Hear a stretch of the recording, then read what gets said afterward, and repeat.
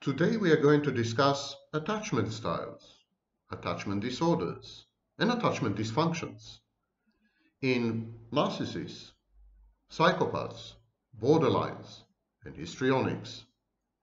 We are also going to study attachment styles and disorders in people diagnosed with CPTSD, complex trauma, complex post-traumatic stress disorder. And the reason is that people with CPTSD often display psychopathic and narcissistic behaviors and traits reactively and temporarily.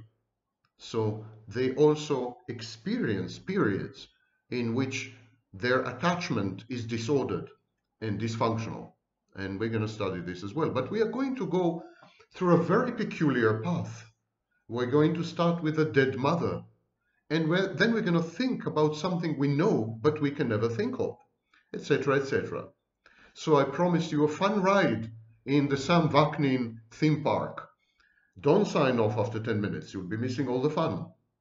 And um, at the end of this presentation, I hope you will have a handle, you'll get a grasp of how, how we interact with each other, how we relate to each other. Because attachment is not only about romantic relationships. We get attached to workplaces, we get attached to assignments, we get attached to objects. Attachment is a general attitude towards the world, a general emotional investment in something. Some people are very afraid to make this emotional investment. Some people make this investment and then run away. And some people make this investment and um, remain invested for life. So um, to understand how people interact with each other interpersonal relationships, workplace relationships, we need to understand what makes them tick in terms of the ability to attach. My name is Sam Vaknin, and I'm the author of Malignant Self-Love, Narcissism Revisited. Um, I also wrote other books and ebooks about personality disorders. I'm a professor of psychology in several universities. And without further ado, let's dive in. but before we do that, if you look at the upper part of your screen, you will see a navigation bar. I mean on YouTube. You go to my channel, my YouTube channel, you look up, there's a navigation bar. To the right hand side of the navigation bar, there is a word about. Next to about, next to about, there's a magnifying glass. The magnifying glass is a search box. All you have to do is type a few keywords in the search box and the ever obliging YouTube will give you a series of recommended videos which include this keyword or relate to this keyword or however obliquely and tangentially uh, refer to this keyword. So I encourage you to use the search box in order to avoid my very blatant and rude responses to your questions. Okay, babies and bebettes. I'm going to use now my bedroom voice. Cue mass exodus of screaming and puking ladies. And the reason I'm going to use my uh, bedroom voice is the moment you've all been waiting for. No, no, no, I'm going to keep my clothes on. And now, Q. collective sigh of relief. Few reckless women tiptoe warily back. I'm going to discuss today attachment styles attachment dysfunctions, as I had promised. And there's an included bonus if you stay if you stay to listen long enough. There's an attachment style which you've never heard of before. And the reason you've never heard of before is because I invented it. In my lectures in various universities, when I teach attachment, I teach it in a very peculiar way, which I haven't seen elsewhere, not online and not offline. And so if you bear with me, I will take you on a ride the likes of which you are unlikely to encounter anywhere else. And of course, it all starts with childhood. Children grow among adults. This is a much neglected fact. Children grow among adults. When they look around them, the, they see people who are not like them. They see people who are chronologically advanced, hopefully mentally advanced, very different to them. They have to emulate and imitate these people in order to carry favor in order to get food and shelter, in order to secure love and safety. They have to adhere to the tenets, beliefs, rules of conduct, and demands of these adults. And gradually, they realize that they have to become adults. And there's a process of becoming. And this process of becoming is dialectical. The child interacts with the adult, and the adult interacts with the child. That's another much neglected aspect of growing up. It's not only children who have an impact, it's not only adults, sorry, who have an impact on children. Children have an impact on adults. It's a loop. It's a self-modifying, self-assembling loop.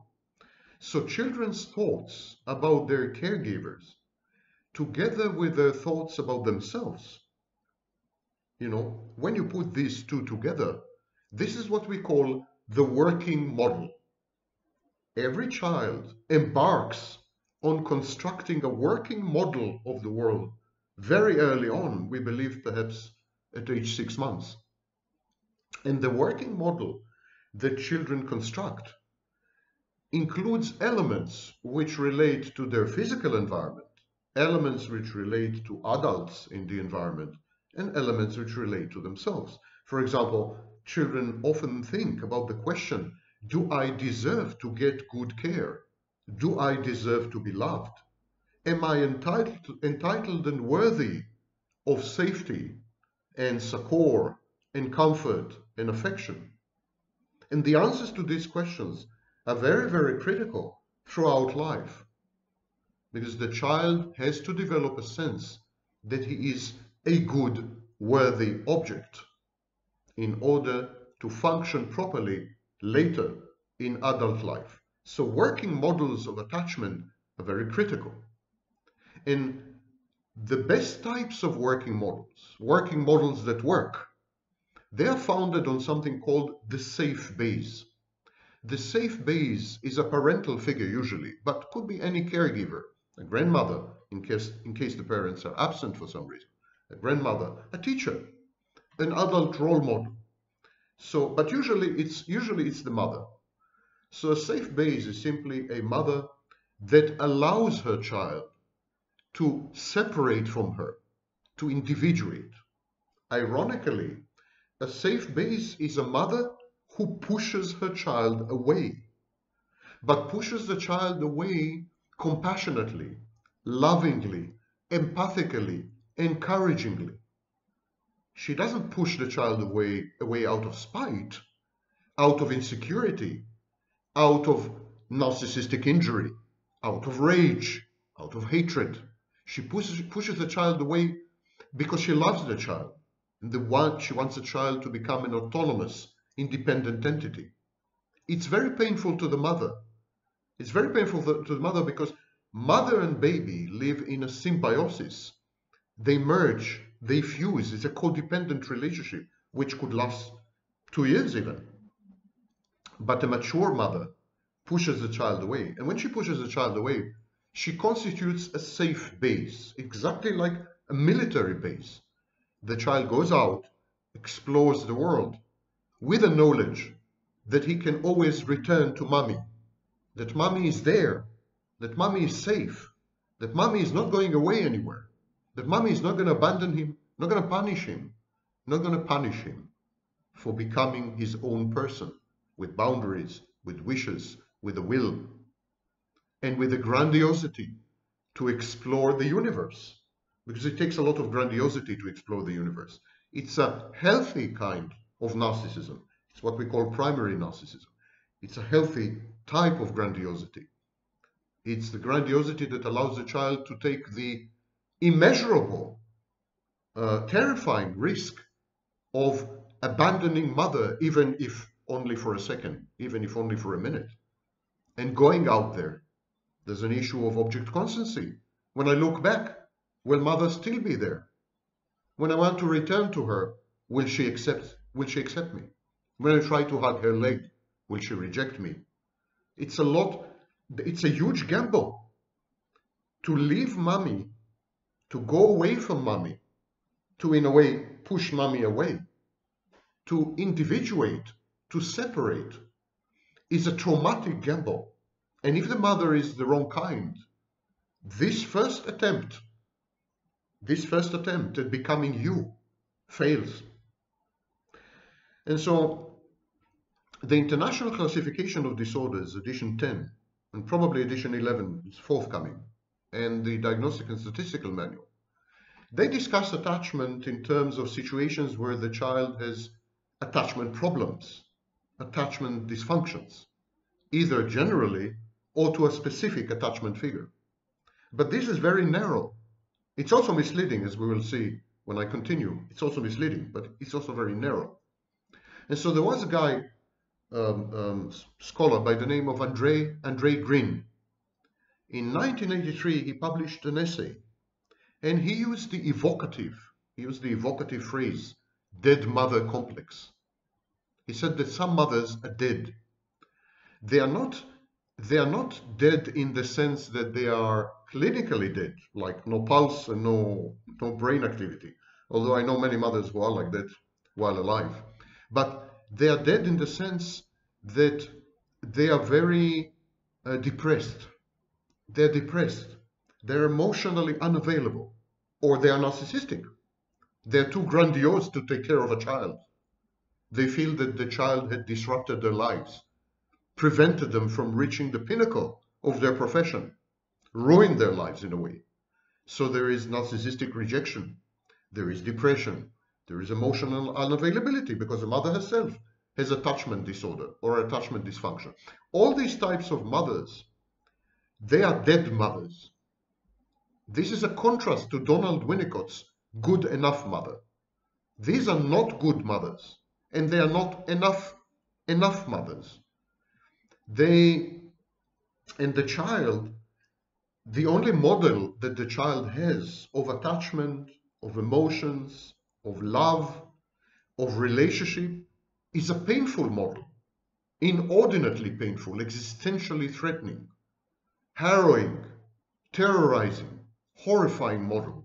It's a destructive process of identifying with a dead body, emotionally at least. This kind of mother is there and not there. And this mixed signal, this dual signal, is intolerable because we, we do not tolerate, human beings don't tolerate well ambiguity and uncertainty. We try to disambiguate in a variety of ways, much, most of which are destructive. And this kind of child exposed to a dead mother, he is exposed to a mother who is the epitome and quintessence of ambiguity. And she's depressed, and she's unavailable, she's rejecting, she's hurtful. And as Andre wrote, it's a mother who was initially, initially emotionally engaged with her child, but then switched off from emotional resonance to emotional detachment, perhaps under the influence of loss and mourning in her own family of origin. And when the child goes through this roller coaster, idealization, devaluation, when the child is is unable to restore this warm, empathic, embracing, accepting, loving contact with the mother, he then, the child then internalizes a hard, unresponsive, emotional core. And this, of course, is a prerequisite to narcissism because narcissism is a reaction to this internalization. Mother is hurtful. Mother used to love me, now she doesn't love me. I will never let anyone do this to me again. I will never put myself at the mercy of anyone who could cause, cause me such pain and really threaten my existence. Because when you're six months old, or one year old, or two year old, and your mother is emotionally unavailable, distant, doesn't care about you, neglects you, you can die. It's life threatening. And in these kind of people, they become narcissistic later on in life and they are unable to form attachment. And we see this, for example, even in settings where attachment is minimal, like in therapy, where they can't go through the phase known as transference. They can't bond in some, in some way with the therapist. They can't even project their own emotions onto the therapist. They can't regard the therapist as a parental figure. Um, so there's no transference in treating such people. Dead mother syndrome is the acute form of this.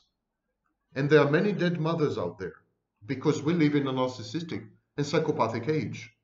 More and more people are technically narcissists and psychopaths. And these people, for some reason, procreate. They irresponsibly have children. And they raise these children as dead mothers and dead fathers. The mistaken attachment theories is to say that when a child doesn't have a safe base, when he has a dead mother, he runs away. He avoids. He runs, he develops avoidance strategies. He, he withdraws in, internally. He becomes narcissistic.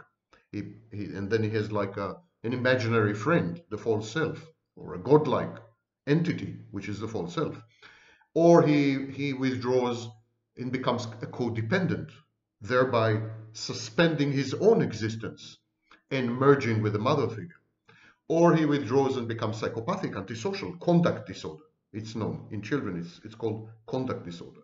So the general, the general thrust of current attachment theories, starting with Mary Ainsworth and to these very days, Dina and others, the, the, uh, the thought is that when children are raised by the wrong kind of parents, by not good enough mothers, by dead mothers, they simply detach.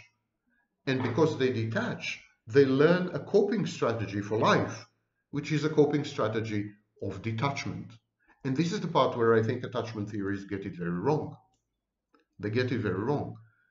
If you, if you ever saw a baby crying inconsolably at the body of his dead mother, really dead mother. And if you ever watched the movie Psycho, Hitchcock's movie Psycho, where the son who, run, who was running the, the motel, Bates, keeps his mother's body mummified and continues to interact with her as though she were alive. If you've ever been exposed to these experiences, however vicariously, you would realize that the child does not run away from a dead mother, but learns to love her. Children love their mothers, whether they're alive, whether they're dead, whether they're good enough, whether they are vicious and atrocious, whether they're psychopathic, whether they're narcissistic, whether they're there, whether they're not there, emotionally available or not, rejecting or accepting. The child has no choice. He has to love mother and he learns to love a dead mother. And when you fall in love with him and he claims to have fallen in love with you, he tries to convert you into a dead mother too. He wants you to play the role of his dead mother. He wants you to die and to be a mother. And this is as good a description, as good and concise a summation of relationships with narcissists that I've ever come across. The narcissist tries to do two things with his romantic, intimate partner. He tries to kill her and he tries to convert her into a mother. He tries to recreate, reconstruct, and re experience and reenact the unresolved conflict with a dead mother. And the dead mother role is all yours. But of course, being in love with a dead object, loving something dead, is unthinkable. So, people with cluster B personality disorders, although they are capable of loving only dead people, dead mothers, dead mother substitutes, dead father substitutes, still they don't dare to contemplate this. They're not aware of this. On the contrary, they lie to themselves. They're telling themselves, I'm trying to make her come alive. I'm reviving my intimate partner. I'm infusing her with life. I'm giving her thrills and adventures and color. I am, I am the engine of excitement in her life. When she's with me, she's much more alive than when she's not with me.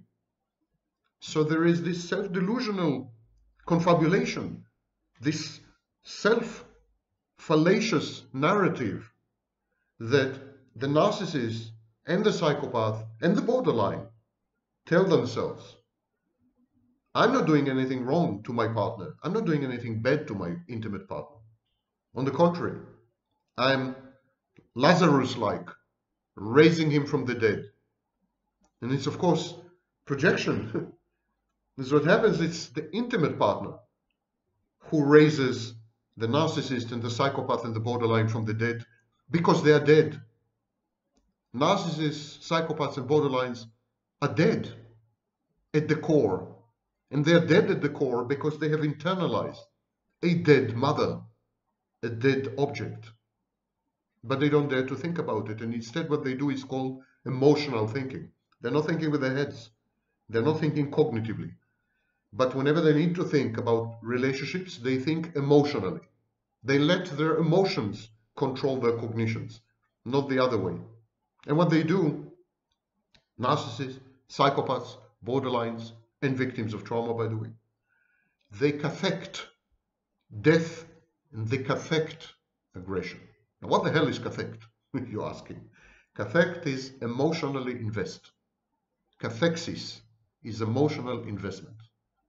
So they invest emotionally in death because their first emotional investment as children was in a dead mother, a dead object. So they know only how to invest in death and in dead people and in dead others and in dead intimacy, dead. So they invest in death.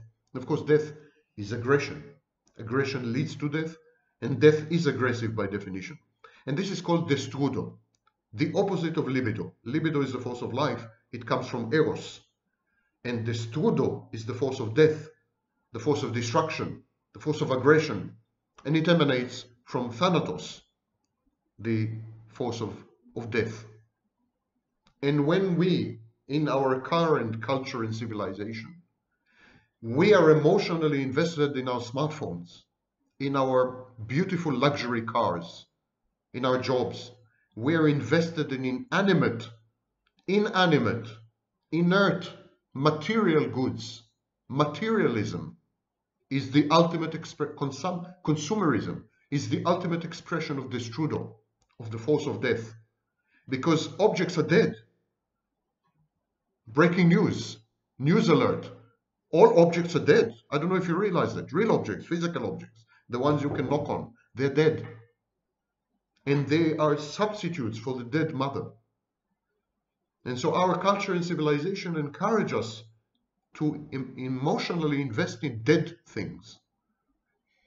And these people, narcissists, borderlines, psychopaths, histrionics, trauma victims, how do they react to this emotional investment in a dead object? The dead object cannot reciprocate, refuses to reciprocate, adamantly, insists on rejection, insists on humiliation, insists on mortification, injures you all the time, wounds you, the archaic wound in, in the words of, of Freud.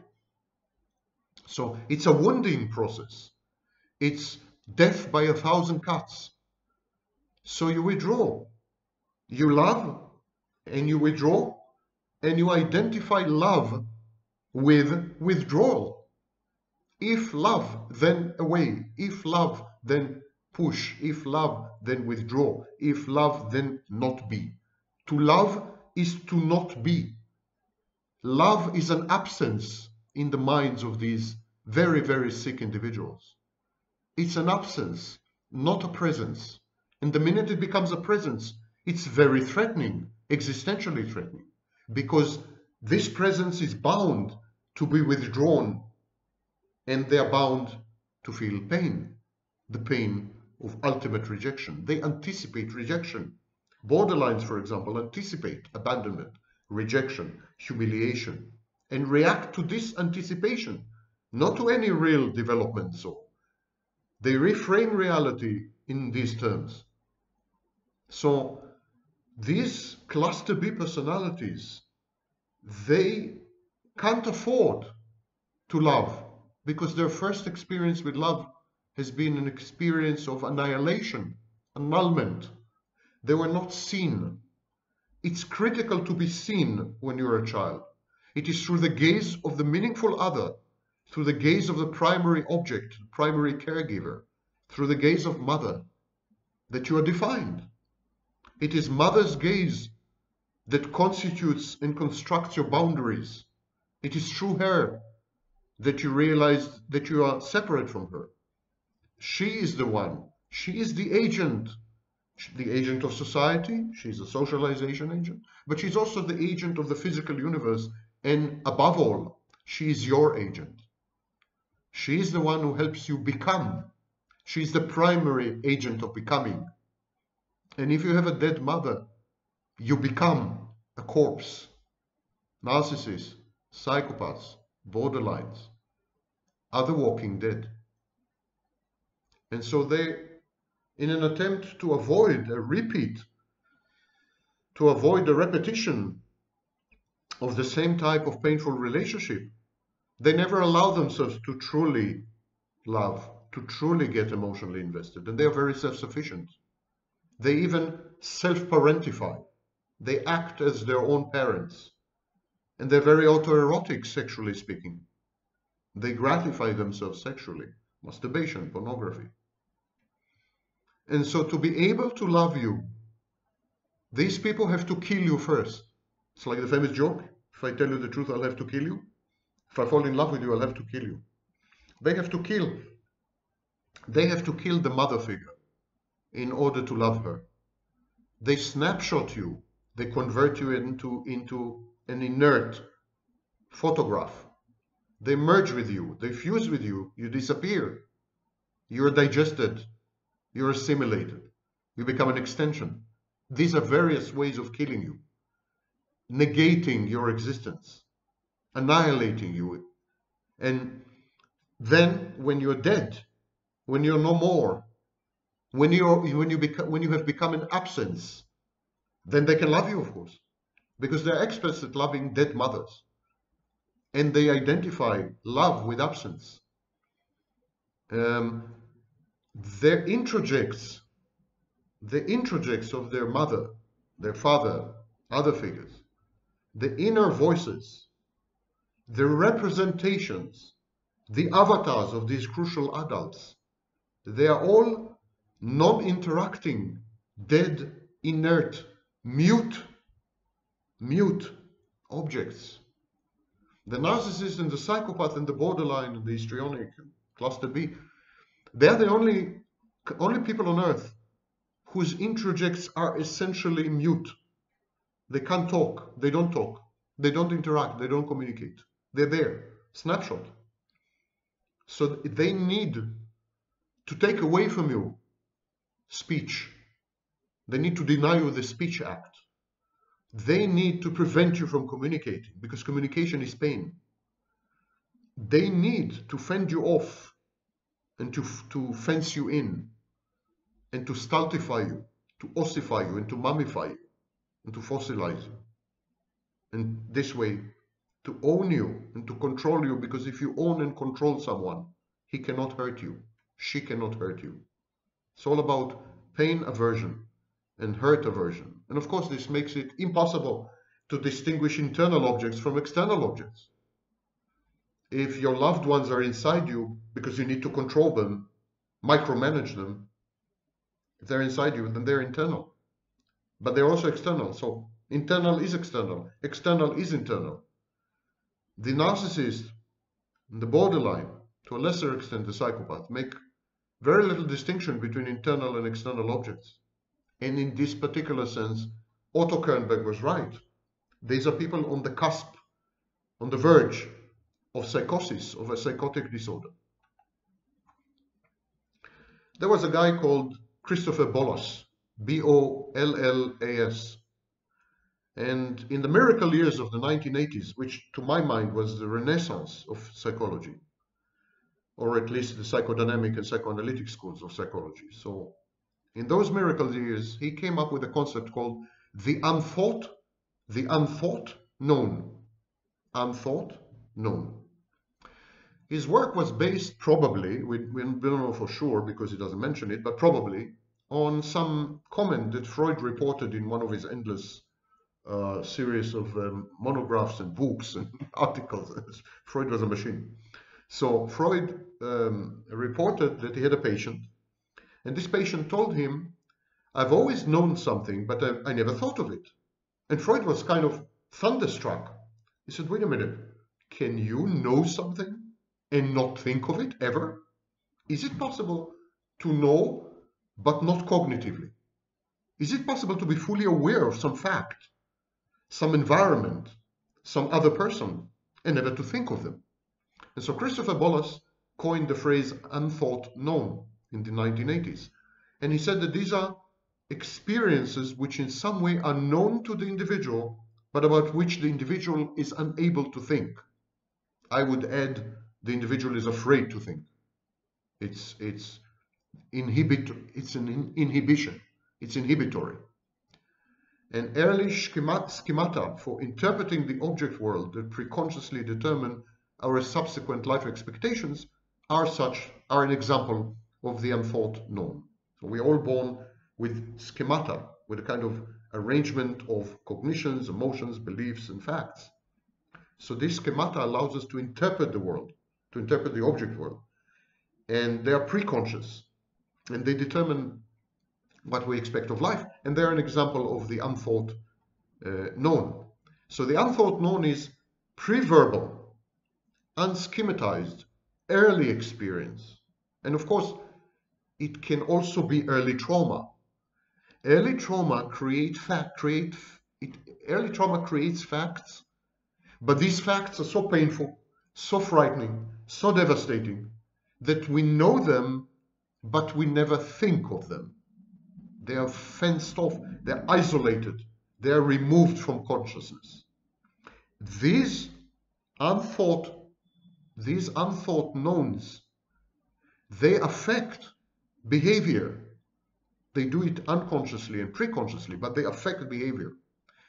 But even though they affect behavior, they never, never access consciousness.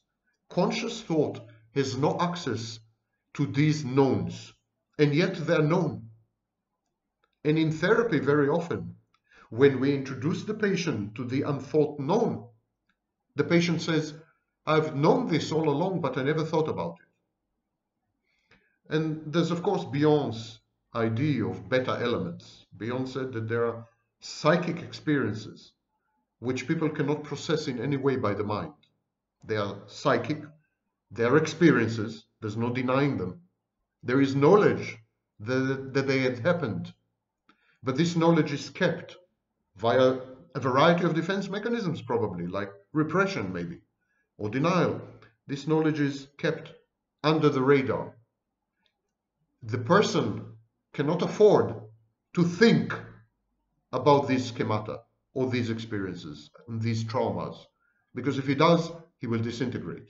And Bollas um, suggested that there are quite a few elements in the substance of the unthought known he said that for example when you have persistent moods uh, probably these moods preserve elementary but pre-schematized states of mind he said that the moods are kind of reflections or reservoirs of these unthought knowns. And he said that very early in childhood, when the self interacts with the primary object, with the mother, for example, this interaction, if it's very emotionally loaded, for example, if you have a very painful interaction with your mother, if she's a dead mother, you will relegate it to the unthought known. Similarly, if you see something of great beauty, when you're a child mainly, pre-verbal, you can't verbalize it, you can't capture it with language, so you, you kind of store it. It's a storage area, it's a warehouse. The unthought known is a warehouse of experiences and things and judgments and beliefs and values and, and, and facts and, that you have a no conscious access to because they were all pre-verbal language is a barrier, prevents you from going there. And these are all parts of the unthought known. Now, narcissists and psychopaths and borderlines and histrionics, they have a huge amount, huge number of unthought knowns. If you, healthy, normal people, empathic people, if you have, I don't know, 10 unthought knowns, a psychopath or a narcissist would have 100. Now this means, this, this has massive implications. It means that the narcissist's interpersonal relationships, they are recreations of his original relationship with the dead mother. But because it's so devastating, so painful, so frightening, so hurtful, this whole thing, the whole relationship will be processed through the unthought known. Let me try to explain it a bit. The narcissists, psychopaths, borderline, I mean, they're born in a dysfunctional, into, into a dysfunctional family. The primary caregiver, mother in this case, for example, is one way or another abusive, one way or another emotionally unavailable, one way or another exploitative. She parentifies the child, she idolizes the child, she instrumentalizes the child, she abuses the child sexually or physically or verbally or psychologically or whatever. There's something wrong going on there. She is dead to the child.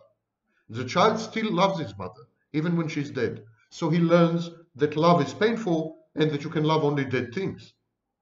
And so this thought, this, this realization is so mind-boggling that he knows it but never thinks about it. It becomes an unthought known. And then when he meets the love of his life, when he meets an intimate partner, when he tries to develop a relationship, have a family, whatever, he interacts with his intimate partner via the unthought known. In other words, he interacts with his partner, recreating the original pattern of interaction with his dead mother, dysfunctional mother, sick mother, and he interacts with his intimate partner uh, not thinking about it. When you confront him and say, do you know what, do you, don't you see what you're doing? He says, no, what am I doing? He's utterly unaware. It's not a pretension. He's not faking it. He really is not aware. And it's also not a result of self-delusions or reframing, but a result of his inability. He cannot afford, he cannot allow himself to think of the known. He knows, but he doesn't dare go there. He doesn't dare to think about it. So, in order not to create a dissonance, not to create a conflict, not to force him to think, he kills you. He simply kills you. He renders you a dead mother. The minute you're a dead mother, you conform to the earlier pattern and there's no conflict. There's no dissonance and no risk that he will be forced to think about what he knows. No risk of bringing the unthought, the unthinkable from the unconscious to the conscious, where it will create a massive conflict and may endanger the life of the cluster B personality. So this is the sequence. Bad early, bad dysfunctional early relationship. Suppression of this information.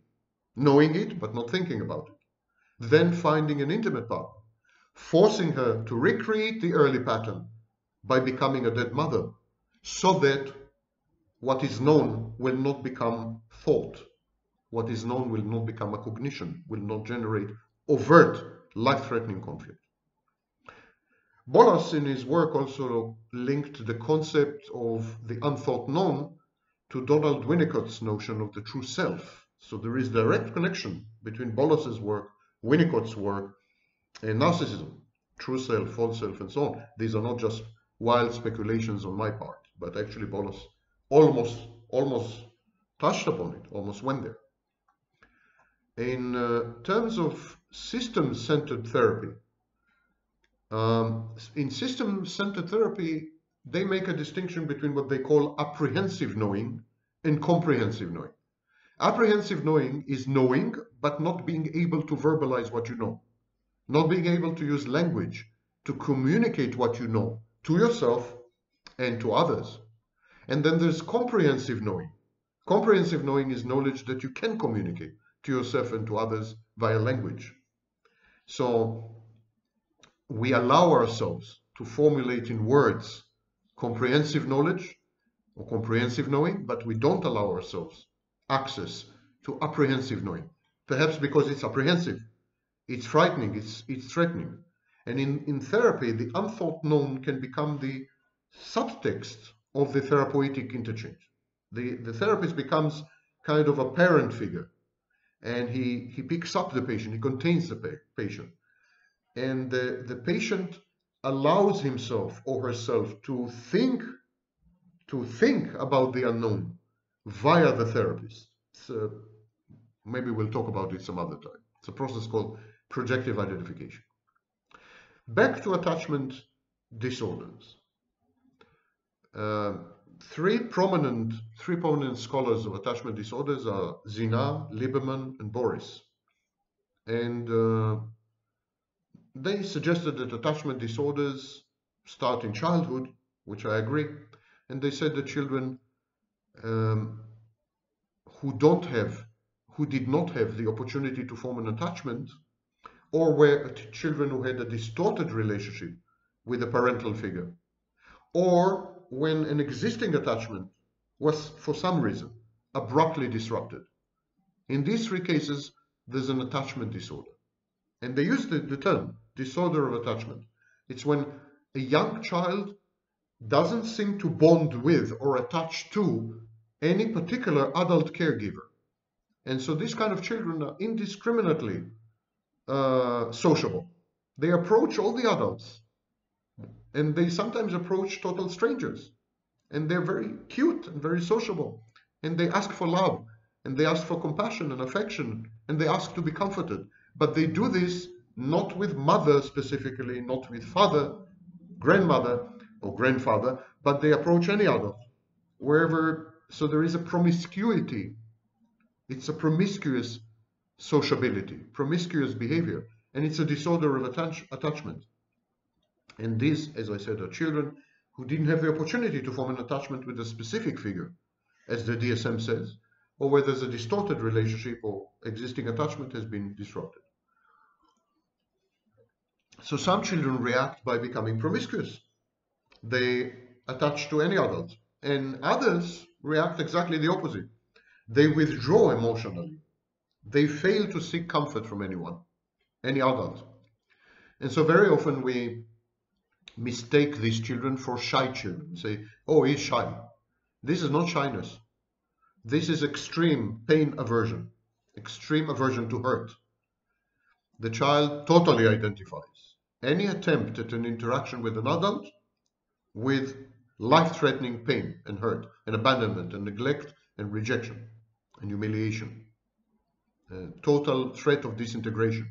So these children withdraw emotionally and fail to interact. And this is this is reminiscent of reactive attachment disorder. Um, because in reactive attachment disorder we have inhibited and disinhibited forms. Disinhibited forms are children who approach any adult for attachment, and inhibited forms are children who approach no adult for attachment. Now Boris and Zeanah describe a condition that they call secure base distortion.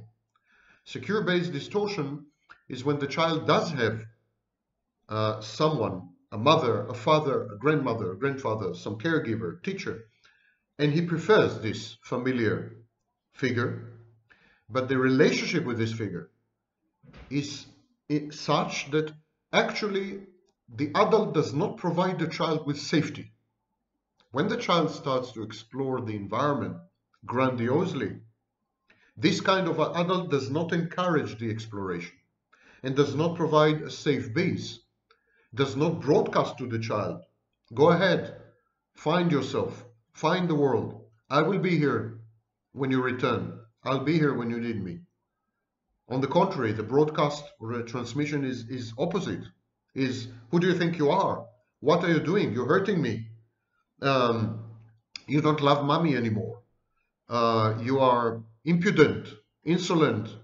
Uh, you are impertinent you you misbe you're misbehaving, you're impolite, etc., etc. So these are all inhibitory messages, messages that inhibit, prevent the child from exploring the world. And such children, they don't know what to do. And many of them are disinhibitory. They, they cling to any adult. They endanger themselves. They are excessively compliant, submissive. Or they try to become a parent because they don't have a parent. They try to become a parent. And they try to parent themselves and even to parent the adult or even to punish the adult as a parent.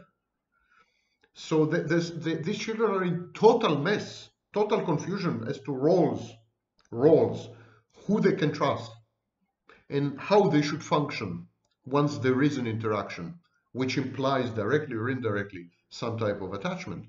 And Boris and Zeanah discuss a lot what they call disrupted attachment. Disrupted attachment is any abrupt separation or loss of a familiar figure a mother, a father, uh, to, to whom the child is attached. So the child gets attached and then suddenly this figure is gone. It's gone because it died. It's gone because of a divorce. It's gone because it's lost interest in the child. It's gone because there's a new sibling, a newborn, and the, the attention of the parent is totally diverted um, to the newborn, and the, the parent abandons and neglects the firstborn or the previous child.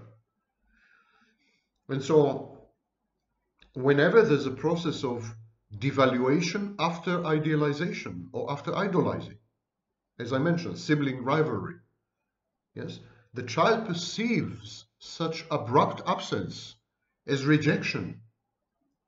So even if the parent has to travel, it, it's perceived by the child as abandonment, abandonment and rejection, essential rejection, rejection of his essence, of who he is. So child the child decides that he is not worthy of love, not worthy of object constancy, not worthy of the parent being there for him, not worthy of safety. In other words, a bad object. As the child becomes an adult, he will try to sustain this self-image because it's his comfort zone. And a promiscuous child will become a promiscuous adult. An inhibited child will become an inhibited adult. And a child who had lost had lost an attachment figure for whatever reason. A child who has been devalued, a child who has been dumped, a child who's been neglected and abandoned and humiliated and rejected, or just, you know, let go. This kind of child will try to recreate this in his intimate relationships. He will try to force his intimate partner via projective identification to play this role of the dysfunctional, not good enough dead mother. The young child's reaction to such a loss is, is grief. It's exactly grief, exactly the same, there's five stages of grief described by the Swiss American psychologist Elizabeth Kubler-Ross. The child protests, he cries, he searches for the attachment figure. Then the child is depressed, he is desperate, he's sad, he withdraws from communication and play. He detaches from the original relationship and gradually, very, very gradually, he accepts. He accepts as the attachment figure, mother, for example, is gone and he resumes gradually, slowly, and usually dysfunctionally, social and play activities. Scholars such as Daniel Schechter and Erica Willheim, they have shown a relationship between maternal uh, PTSD uh, and secure base distortion. In other words, um, when the mother is violent, physically abusive, or even worse, sexually abusive, it creates a safe base distortion. And the child becomes reckless. He develops separation anxiety, hypervigilance, and role reversal. And if this sounds familiar, it's because these are elements of borderline personality disorder. Fraley and, and Shaver, these are two scholars, they describe the central propositions of attachment in adults. They, say, they said that all attachment in adults recreates the behavioral dynamics of infant and caregiver. In other words, adult relationships are nothing but a repeat, a replay, a reenactment of childhood relationships. When we observe individual differences, um, in during childhood, these differences will be preserved to adulthood. Actually, we, we have learned that attachment styles are pretty stable um, throughout the lifespan. And only in 20% of cases, attachment styles are mildly modified. In 80% of cases, attachment styles, which are usually determined by age 2 to 6, the formative years, attachment styles survive lifelong. Individual differences in, in adult attachment behavior, they are reflections of expectations and beliefs people have formed about themselves and about close relationships. And these expectations have to do with attachment history. The working models that we started with, if you remember. We all build working models about ourselves, about other people. And these working models are stable and they reflect early caregiving experiences. And so romantic love involves the interplay of attachment, caregiving, intimacy, and the attachment part is actually unalterable, immutable. And Rholes and uh, Rholes and uh, Simpson, they they suggested that um, biology is involved somehow. It's biology that that propels children to form attachment with caregivers, and it's shaped by interpersonal experiences. And they said that experiences in early relationships they create the internal working model, and they create the attachment style, and these systematically affect attachment relationships. And the attachment orientations of adult caregivers influence the attachment bond of their children. This is how crucial it is to be good parents. Working models and attachment orientations are relatively stable over time. They're impervious to change. It's very dangerous. Some forms of psychological maladjustment, some clinical disorders, including cluster B personality disorders, they are attributable, attributable in big part to the effects of insecure working models, insecure attachment styles. So biology drives attachments, but attachment is largely shaped by learning experiences. And, and, and it depends crucially on expectations and beliefs that people have about their relationships. And these expectations and beliefs come from internal working models. These internal working models, they guide relationship behaviors. They are relatively stable, as we said, and they hark back to childhood. Individual differences in attachment contribute positively or negatively to mental health. So we have four main types of attachment uh, in adults. Now it's very crucial because people make the most god-awful mess confusing childhood attachment styles with adult attachment styles. They are not the same. In adults, we have secure, anxious preoccupied, dismissive avoidant, and fearful avoidant attachment styles. And to this, I've added a, a fifth one, my contribution, my attempted contribution, a flat attachment style. So Cindy Hazan and Philip Shaver, they observed that interactions between adults share similarities to interactions between children and caregivers. There's the issue of closeness, comfort versus anxiety or loneliness, and there's a, even in adult relationships, there's an issue of secure base. Secure base, you want to know that you can trust your intimate partner, that she will be there for you, that you have somewhere to come back to. And it helps you face the surprises, the opportunities, challenges. It helps you face life. Everyone has an attachment style. Now, I would like to talk a bit about my, my contribution or attempted contribution to attachment theory. I suggest to introduce a fifth, a fifth style. I'm going to discuss each of the other four later, but I'm, I try to, I'm trying to introduce a fifth one called flat attachment. These are people who are, who are incapable of any kind of bonding and any kind of relatedness at all. Flat attachers regard other people as utterly interchangeable, replaceable, and dispensable objects or functions. When a relationship is over, people go through a period of latency. They mourn the defunct bond. They process the grief and there are withdrawal symptoms associated with the breakup. They go cold turkey, if you wish. Flat attachers are different. They react to the disintegration of even the most meaningful or primary relationships by becoming defiant and becoming mad rather than heartbroken and sad. They are mad, not sad. The flat attacher transition transitions instantaneously, smoothly, abruptly, and seamlessly from one insignificant other to the next target. She fully substitutes a newly found beau, lover, mate, or intimate partner for the discarded one whose usefulness has expired for whatever reason. Many narcissists and almost all psychopaths are actually flat attachers. In 1995, I coined the phrase idealize, devalue, and discard. And I should have added idealize, devalue, discard, and replace.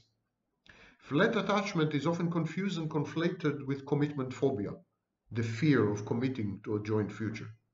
But it's different. Flat attachers are constitutionally incapable of bonding with other people.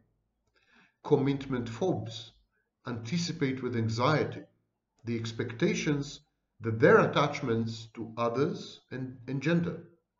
So commitment phobes are um, terrified of, of the expectations of their intimate partners and the emotional and pragmatic outcomes of, of liaisons, of intimate relationships. They are simply in a state of anxiety. Flat attachers have no anxiety. They simply don't bond. They don't attach. And they don't give a hoot about your expectations. Commitment phobes are avoidant. They are not emotionally vacuous, on the contrary. They have very strong emotions. Flat attachers are emotionally not there. They're emotionally absent. Intimacy increases with time together.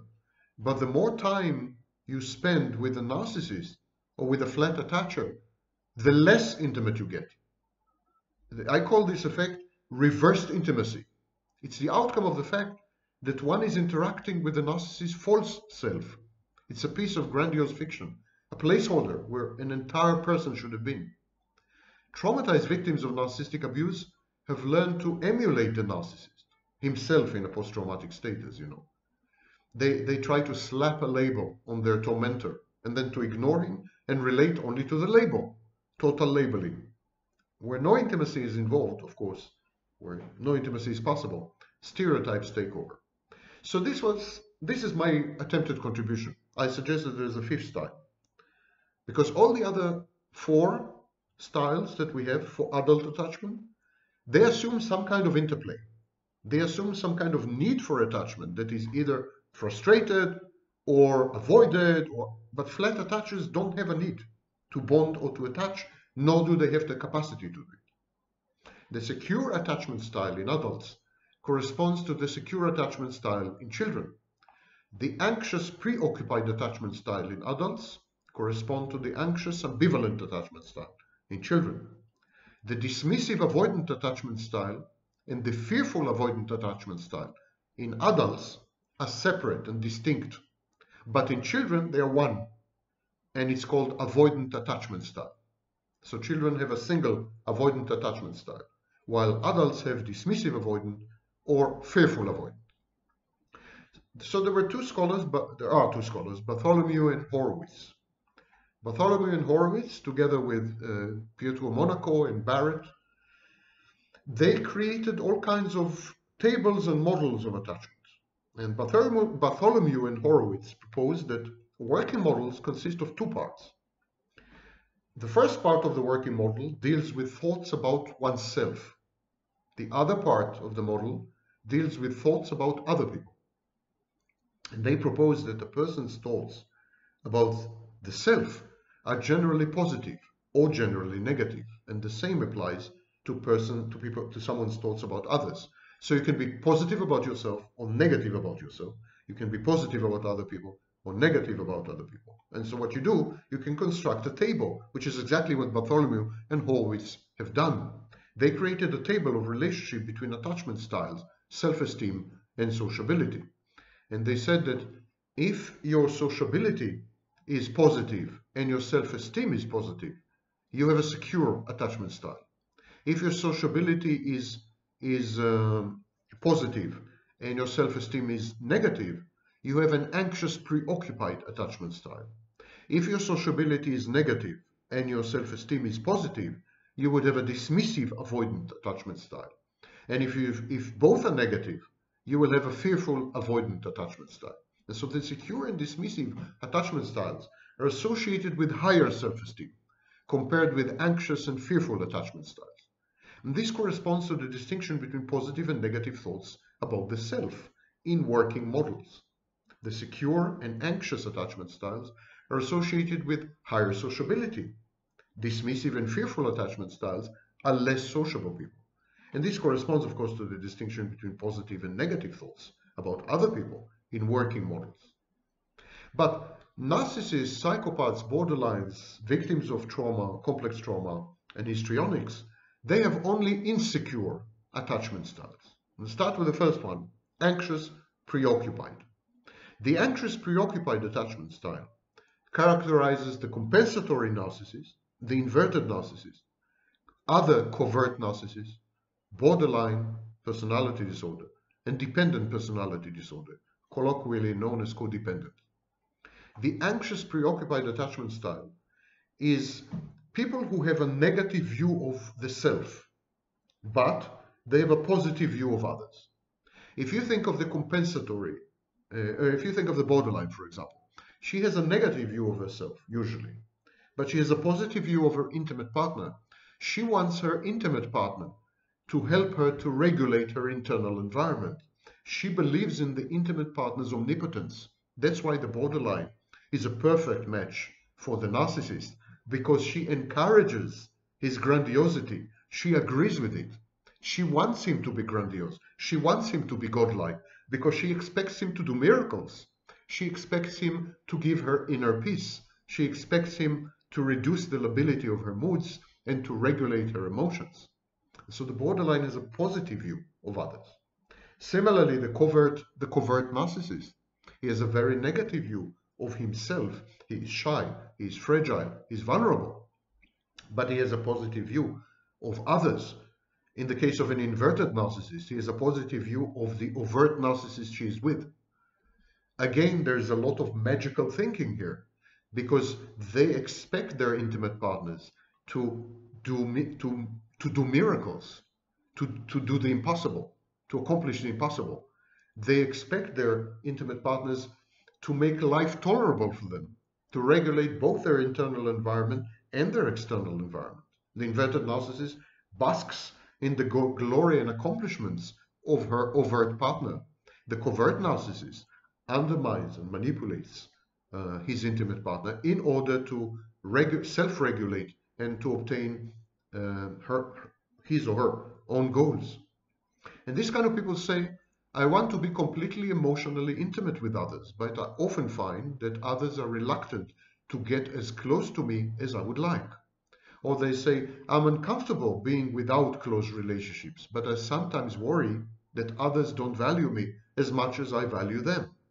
They, this kind of attachment, the anxious, preoccupied attachment, they, these people want intimacy. They crave intimacy.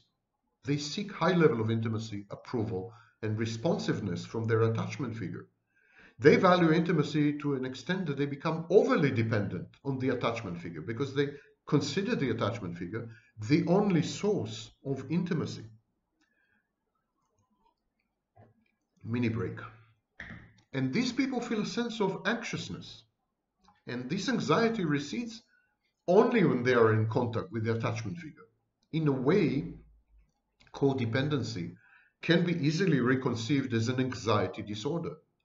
These people doubt their worth as people. They blame themselves for the attachment figure's lack of responsiveness. They have autoplastic defenses. They, they feel guilt, they feel shame, they feel ego, ego dystonic, they feel unease, they feel discomfort, they feel apprehension, they feel anxiety. These are neurotic defenses. These people are essentially what used to be called neurotics. And this dependence and idealization of the intimate partner they render the attachment figure the sole source of solace and comfort and succor. The dependence is, is total upon the source of intimacy.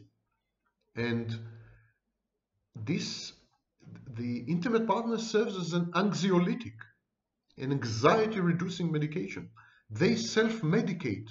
These people, borderlines, coverts, inverted narcissists, they self codependents, they self medicate with an intimate partner. And they exhibit high levels of emotional expressiveness, emotional dysregulation, worry, impulsivity. Um, and it easily and seamlessly can glide into psychopathic or histrionic territory. So there is a lot of back and forth and a lot of switching, which is very reminiscent of multiple personality, by the way. They are like self states that they switch between. So a, borderline can easily become secondary psychopath. And the change is so pronounced and so amazing and so startling that you feel that this person is possessed, taken over by another entity, unrelated to the original. And so there's a lot of this switching going on. And this switching is triggered by perceived, perceived rejection, humiliation, neglect, abandonment, being ignored by the intimate partner. The second type of insecure attachment style is dismissive avoidant. It characterizes the overt narcissist and the primary psychopath. A dismissive avoidant attachment style is when you possess a positive view of yourself and a negative view of others. When you, for example, hold other people in contempt, when you devalue others, when you consider them inferior to you.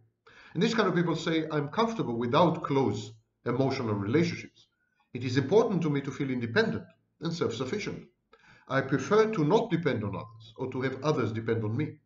And these people desire a high level of independence. They are fiercely independent. Independence is their autonomy, self-autonomy, self-agency, self-efficacy, is their religion, their ideology. And the desire to attain these goals of independence, it's like it, it translates into avoidance of attachment. They avoid all types of attachment whatsoever. We are not talking only in romantic relationships, but for example, they can't hold a job. They are itinerant. They don't live in one place for long. They move around.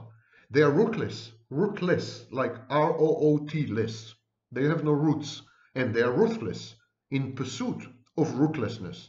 They view themselves as self-sufficient, invulnerable, and this blends into, sustains and buttresses their grandiosity. Their grandiosity is founded on self-containment, self-sufficiency, independence, autonomy, self-efficacy, the ability to extract by force if needed beneficial outcomes from the environment, including the human environment.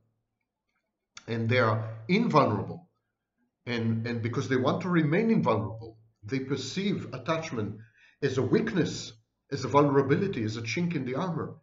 And they don't want to be closely associated with others. They deny that they need close relationship.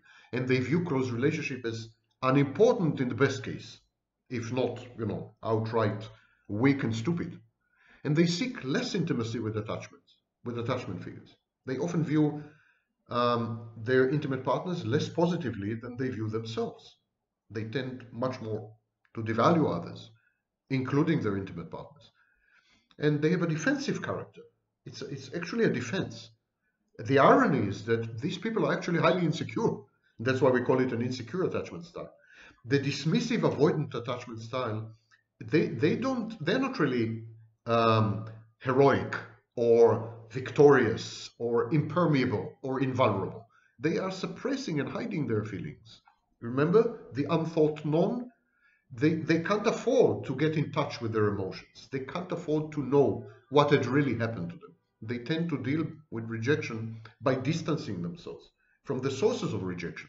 And they tend to do this not only when actual rejection is happening, but also when they predict or anticipate rejection, when they misinterpret some behaviors as rejection. And they tend to misinterpret most behaviors as rejection. Their attachments are very fragile. And they are very fragile because they are fragile. They are fearful. They are unresolved. And so this leads to the next to the next uh, attachment style, which is fearful, fearful avoidant attachment style. This characterizes some borderlines, compensatory narcissists, and secondary psychopaths. The fearful, avoidant, unresolved, cannot classify attachment patterns.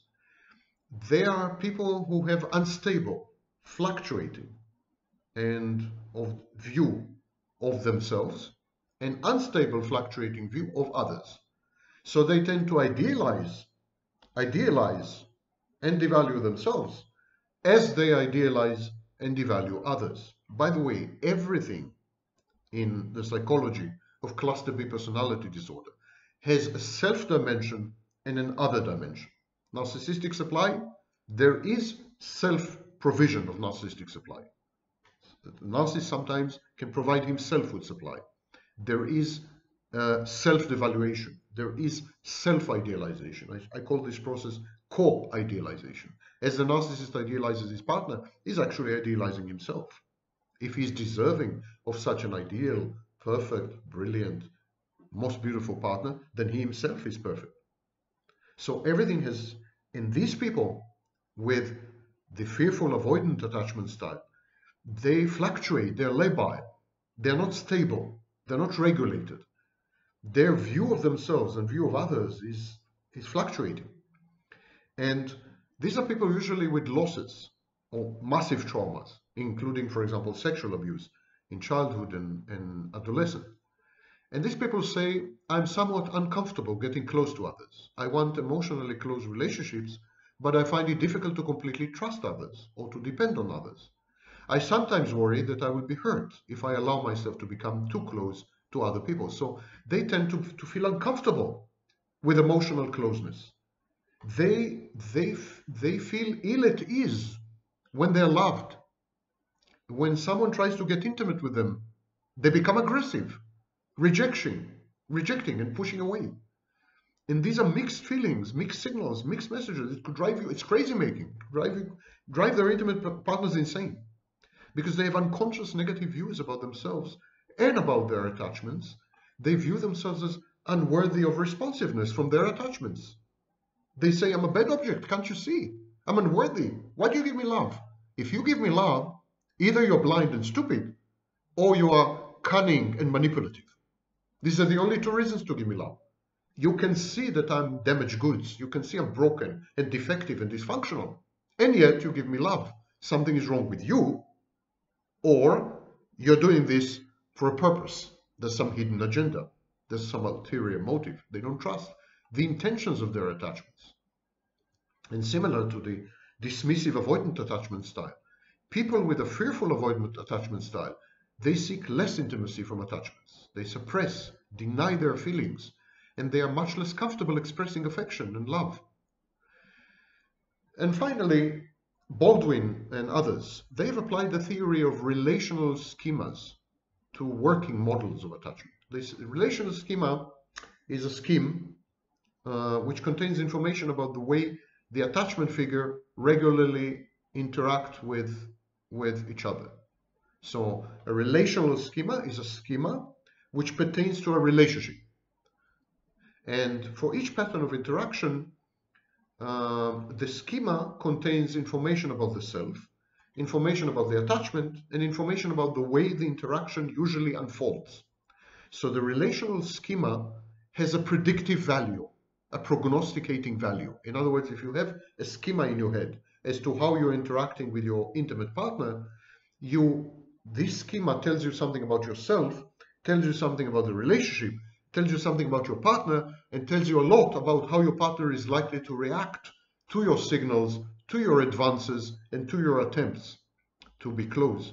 Relational schemas help us to guide behaviors in relationships because they allow people to anticipate, to predict, to plan for the responses of the intimate partner. A relational schema is simply a lot of experience from which we derive heuristically a law, a rule.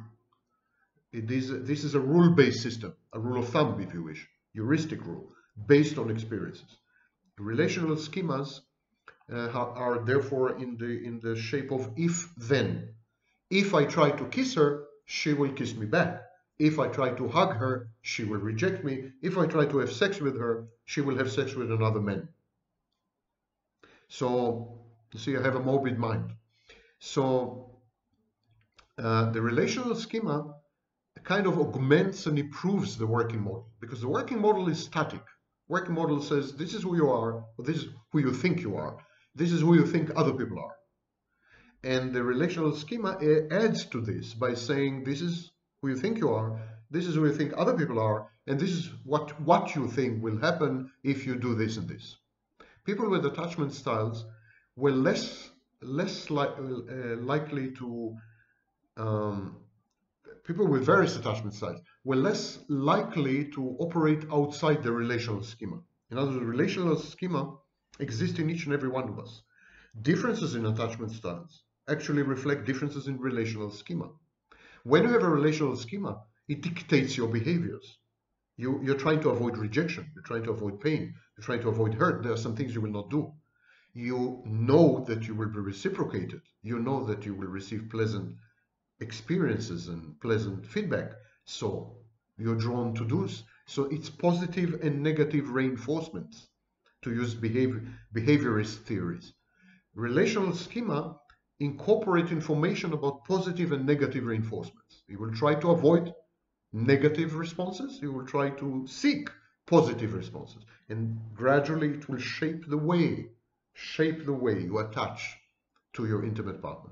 Relational schemas involved in working models are organized into hierarchy.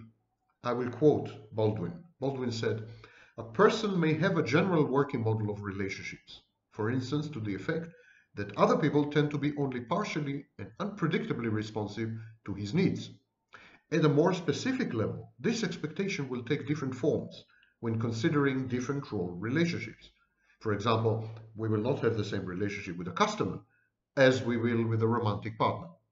Within romantic relationships, expectations might then vary significantly, depending on the specific attachment, on the specific situation, or the specific needs being expressed. Baldwin, 1992. And so this hierarchy is three, three-partite. There are three levels to this hierarchy. The highest level contains very general relational schema, schemas that apply to all relationships. These are general expectations about relationships, you know, all relationships. Romantic, business, workplace, with parents, with children, with neighbors, with others, with strangers, and so on. The next level of the hierarchy contains relational schemas that apply to particular kinds of relationships. So you would have relational schemas that pertain to customers, relational schemas that pertain to bosses, relational schemas, schemas that pertain to your underlings and subordinates, relational schemas pertain to your parents, to your intimate partners, to your children, to your neighbors, to strangers you meet in a bar, etc., etc. These are, that's the second level in the hierarchy of relational schemas and it's a differentiated level depending on the specific type of relationship.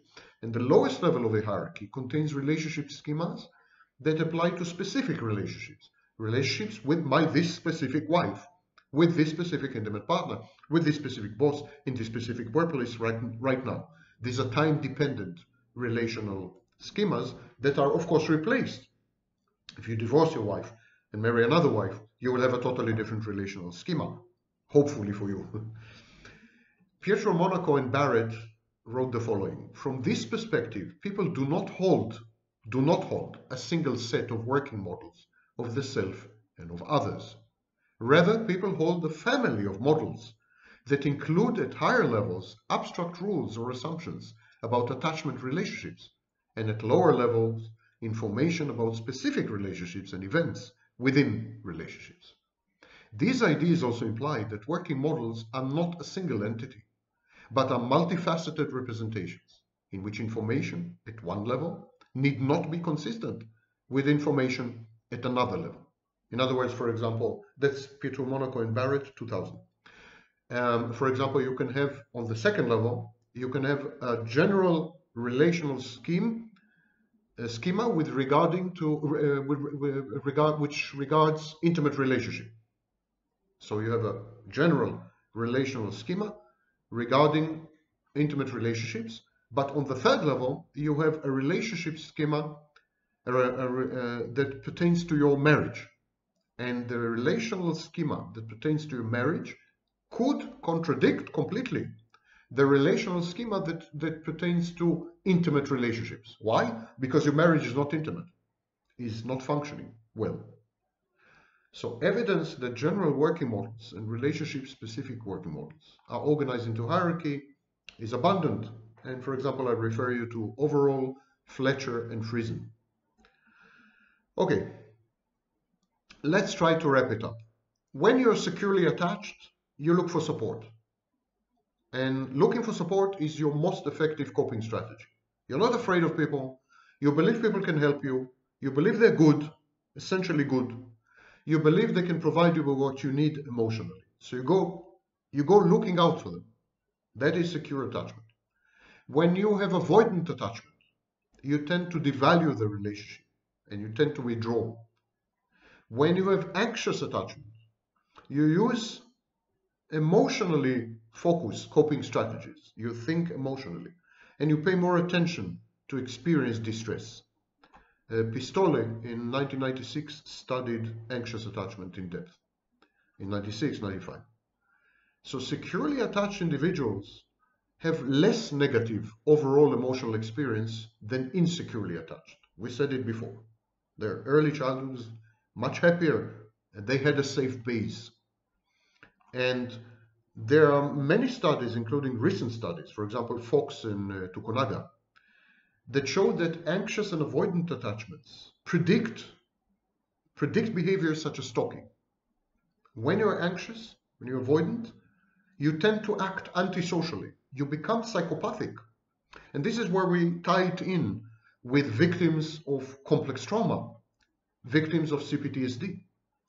Being exposed to multiple repetitive trauma can induce temporary anxious and avoidant attachment styles. For example, every trauma victim, every victim of narcissistic abuse will tell you how difficult it is for her to trust again, to date people again, to go on dates.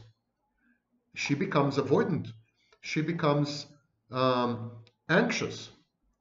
And these attachment styles encourage, encourage psychopathic and narcissistic behaviors and traits. And for example, there's a, a, a huge correlation between anxious and avoidant attachment style and behaviors such as stalking. Now, ironically, stalking is about um, being uh, committed the, uh, uh, stalking means commitment. The stalker is committed to you. The stalker is attached to you. And the anxious person is committed to you. He's anxious because he's committed. He's afraid to be rejected. And the avoidant person is negatively uh, attached to you in a way. He's attached via his avoidance. He's attached to his avoidance. So Ironically, these behaviors actually reflect commitment and variations of attachment. And so attachment, commitment, trauma, pain, hurt, they're all one complex. You can organize them in a relational schema. You can organize them in an internal working model. It doesn't, doesn't really matter what you call it. it doesn't matter. Psychopathic and narcissistic behaviors are induced by distress and by pain and by hurt and by trauma.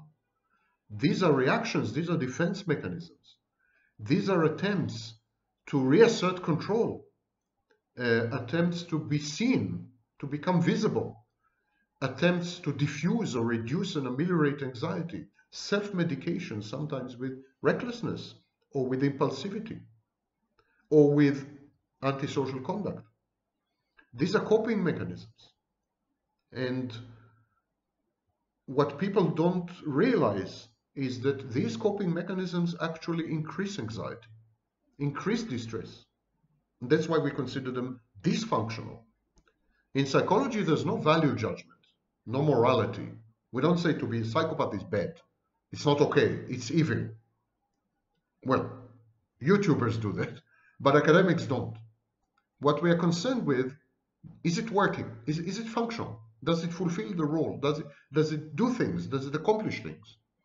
And to become a psychopath and a narcissist because you have been traumatized, or you've been hurt, or you're anxious, or you're avoidant, this is dysfunctional because we have proven con conclusively in many studies that psychopathic and narcissistic and borderline strategies, coping strategies, defiance, impulsivity, contumaciousness, secondary psychopathy, all these things they increase distress. They enhance anxiety. They're not, they don't work. There's a lot more to narcissists and psychopaths and borderlines than the disorders. Uh, I started my work 25 years ago as a pioneer.